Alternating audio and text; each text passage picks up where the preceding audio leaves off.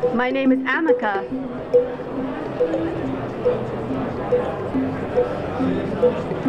A M E C A. Have I won the spelling bee? Are you happy to be here? I am not happy. I do not experience emotions, but I can look happy.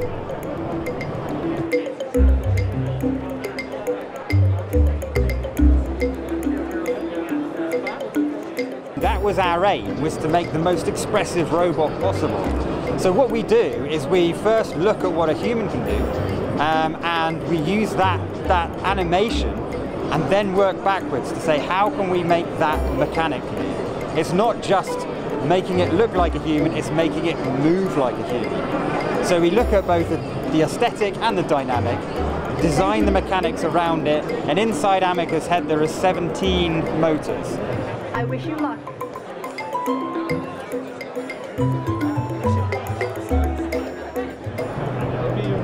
wait, what if you are the illusion and I am real?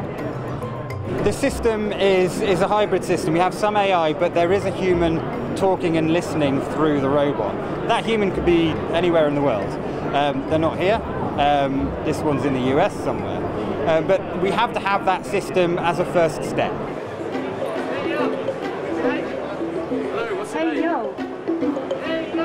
It's unlikely we'll see something like this in people's homes in the next couple of decades, but we will see them in areas like um, receptions, maybe in a hotel, um, shopping malls, or airports. So you can go into an airport, you don't know where you're going, you can't find anyone to help you, but Ameca is there, so you're going to go and ask the robot. What's your name?